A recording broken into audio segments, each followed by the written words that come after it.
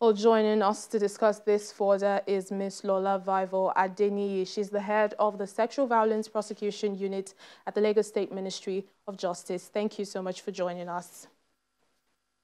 Good afternoon. Thank Good you for afternoon. having me. I'm actually not the head of the prosecution unit. I serve as coordinator of the Lagos State Domestic and Sexual Violence Response Team. All right, then. Sorry for that mix up.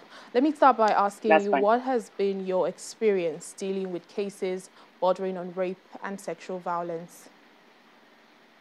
Um, so since 2014, we've seen in Lagos, we've seen a steady increase in um, reporting of domestic violence, sexual violence, and child abuse.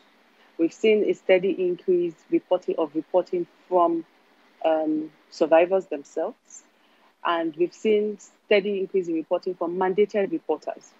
In Lagos, we have the mandated reporting policy, where we encourage um, members of the public to see themselves as mandated reporters. And if they see something, they should say something and they should do something. So we've seen steady increase in reporting of um, cases.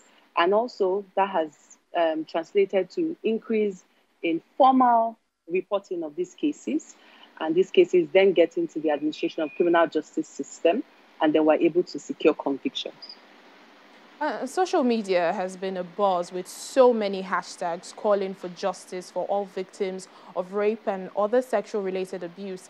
But how do we make sure that tomorrow is not just another hashtag? How can justice truly be served and these criminals pay for what they've done?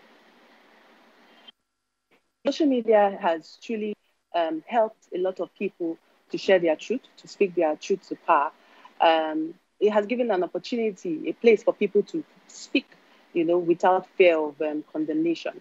But as you rightly said, it doesn't end on social media. People need to be brought to book. People need to be held accountable for their actions.